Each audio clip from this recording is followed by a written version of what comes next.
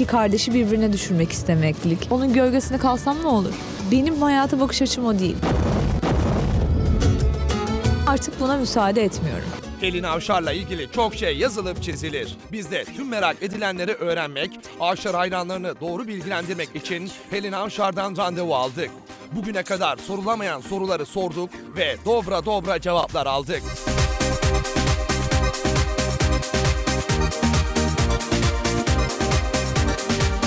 Pelin Avşar'ın iki büyük sıkıntısı var. Bunlardan ilki ablası Hülya Avşar'ın gölgesinde kalıyor iddiaları. Bir diğeri ise ablasıyla ilişkisinin üçüncü şahıslar tarafından yıpratılması. Her şey benim üstüme yıkılıyor maalesef. Gölgesinde de kalayım ya ama benim ablam işte bu mantaliteyi hiç çözmüş değilim. Çözmek de istemiyorum çünkü ya abla kardeşiz biz niye yani ayrılalım? Niye bir böyle bir onun gölgesi, bunun şemsiyesi, bunun bilmem nesi ya biz kardeşiz yani ne olacak? Onun gölgesinde kalsam ne olur? Biraz da o insanların kötü niyetli yani e, işte iki kardeşi birbirine düşürmek istemeklik. Biraz onların hayata karşı bakış açılarını e, siz buradan görebilirsiniz. Yani benim hayata bakış açım o değil. Eniştesi Saadet'in Sara'nın radyosunda çalışmasıyla ilgili çıkan haberlere bal tutan parmağını yalar diye açıklama yapan Helin biraz tepki almış. Hay Allah'ım yani onu başlığa çıkartmak, onu öyle yansıtmak. işte o kişinin karakterini siz oradan çözebilirsiniz. Yani ben hani çıkıp da burada konuşmak istemiyorum. Bugüne kadar hep böyle yapıyorlar ama hiçbir şey de elde edemiyorlar. Çünkü ben hep yoluma bakarım. Ee, olan onlar olur. Onun kötü kalpliliği. Bir dönem alkol kullanan gece hayatında sıkça rastladığımız Helin Avşar şimdilerde pek ortalıkta görünmüyor. O günlerde Helin Avşar'ın alkol tedavisi gördüğü yazılıp çizilmişti.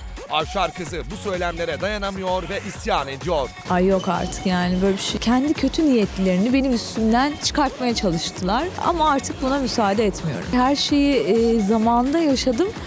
E onlar da o zaman da yaşanması gerekiyordu yani. Ne yapacaktım evde mi oturacaktım yani. İyi ki de yapmışım ya yani. Benim de çocuğum olsa benim çocuğum da yani o yaşları geçirecek, o evreleri geçirecek. Yani her genç gibi ben de gezdim yani. Ama bir şanssızlık ben kameraları e, yakalanıyordum. Peki Helin Avşar gece gezmelerinin ve alkolün dozunu kaçırınca ablası Hülya Avşar'dan özür diliyor muydu acaba? Geç geldiğim vakitler dilerim tabii yani. Abla pardon ya gene geç kaldım falan o eskidendi. E, bunlar güzel şeyler. Böyle şeyleri yaşamak güzel. E, özür dilemek güzel. Helin Hanım'la sohbetimiz devam ederken çok önemli bir detay yakalıyoruz. Meğer hanımefendinin yeni bir sevgilisi varmış. Ben sevgilime şımarığımdır. Senin aşk durumun. var bir kıpırtı var. Bakalım.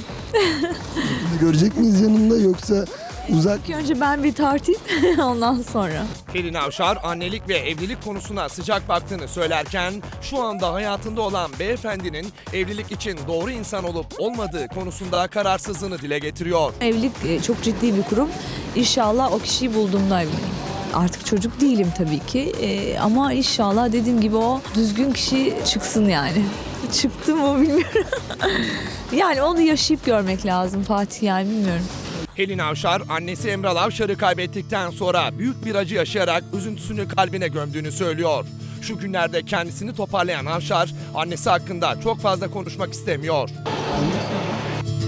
Benim için aile kavramı çok önemli. Ee, keza bütün aile bireylerim için öyle.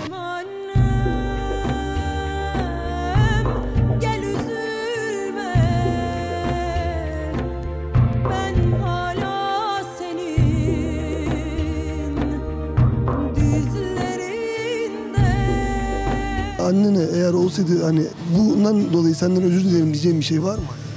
Yok, annem beni çok iyi tanıyor. Son derece açık söylemlerle dolu röportajımızın sonunda Helin Avşar'a son bir soru daha soruyoruz. Acaba ablası Hülya Avşar'la birlikte bir projede yer almak ister miydi? Bilmem kısmet. İnşallah. Yani ben çok isterim ablamla böyle bir şey yapmak. Bir sitcomda ablamla olmak, e, bir de sinema filmde ablamla olmak çok isterim.